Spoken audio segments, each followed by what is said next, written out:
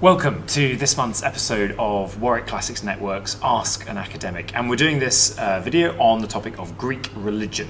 Uh, now, we've had a number of questions in from different teachers and school students, so I'm going to be hoping to cover a couple of those uh, today across three main topics.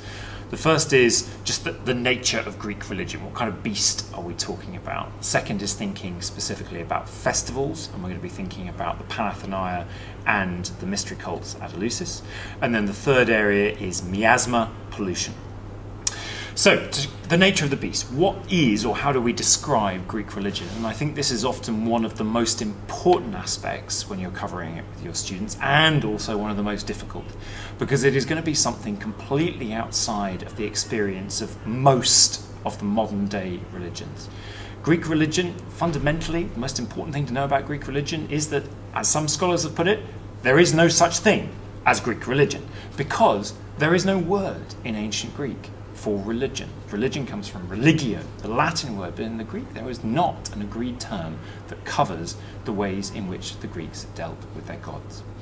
Coupled with this, there is also no central sacred text. There is no statement of core beliefs. There is nothing that we can look at in comparison to most modern religions and go, you are a believer in Greek religion if you believe in X or Y. And that is why most scholars of Greek religion tend to focus on actions rather than words and beliefs. What people do define them as followers of Greek religion rather than necessarily what they believe in. But how do we talk about belief then in a system that supposedly has no words for describing that religious belief and no set of principal statements or texts by, through which people identify themselves as believing together in a common religious uh, understanding of the world and of the divine. And I think the closest we can get in ancient Greek is the term theos nomizein.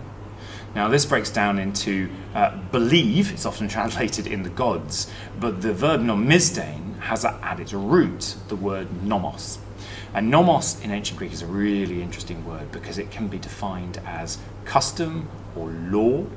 It's often something which is defined by the city state or the community or the civic political body rather than, say, a, a, group of religious authorities.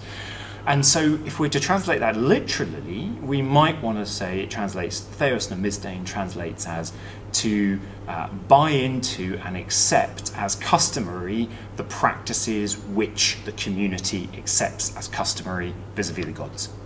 And that gets at the heart of the, one of the most important aspects of Greek religion, which is that it is indivisible from community, political, civic interaction and life. Uh, religion seeps into and is fundamentally part of and is simultaneously defined by every other aspect of the life which ancient Greeks led. So, Theos Nomizein would be my kind of way forward to suggest how we do talking about Greek religion and belief in the ancient Greek gods. And the other thing is that the Greeks were often saying to one another that they understood themselves to be all doing something similar. If we have a look at Herodotus's histories in Book 8, famously, the Athenian ambassadors talk about to Hellenikon, the Greek thing.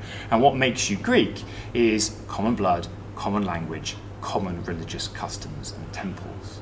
Now, there's a problem with that example, and the Athenians are trying to persuade other Greeks that they should all bind together and act together. But there's something very important in the fact that if anything that they could choose to talk about, they choose to talk about common religious customs or temples. So while we have no explicit definition, no core set of prescribed beliefs, an understanding of Greek religion in which kind of what you do is defined by the community in which you operate, there was also clearly a sense that Greek religion was something that could perceivably bind the Greeks together as a, as a wider community as well. And the third thing that I would like to kind of emphasize in terms of getting across the nature of Greek religion is that despite there being ideas that Greek religion could identify you as part of the Greek world and that were, there were common religious customs and temples, we should never be fooled into thinking that Greek religion makes sense. It is not a coherent set of beliefs or practices, and trying to make it coherent, trying to get all the ends to fit together, always ends in tears. Greek religion was incoherent. It was flexible, it was improvisatory, right? it was adaptable, it was flexible, it changed constantly.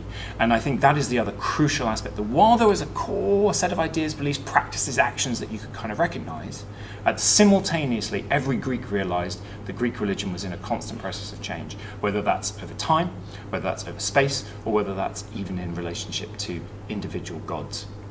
So those are the three things I would sum up uh, about the nature of Greek religion that it's absolutely crucial to get across to your students. First off, it is unlike anything they will have studied before in any modern religion of which they may well have some experience. This is a religion without identifiable creed or set text or even word to describe it. It is a religion which is bound up entirely with all sorts of other community practices, civic, political, as well as religious. And it's a religion which fundamentally does not cohere, which is constantly flexing, changing, uh, and which is constantly, in some ways, incoherent.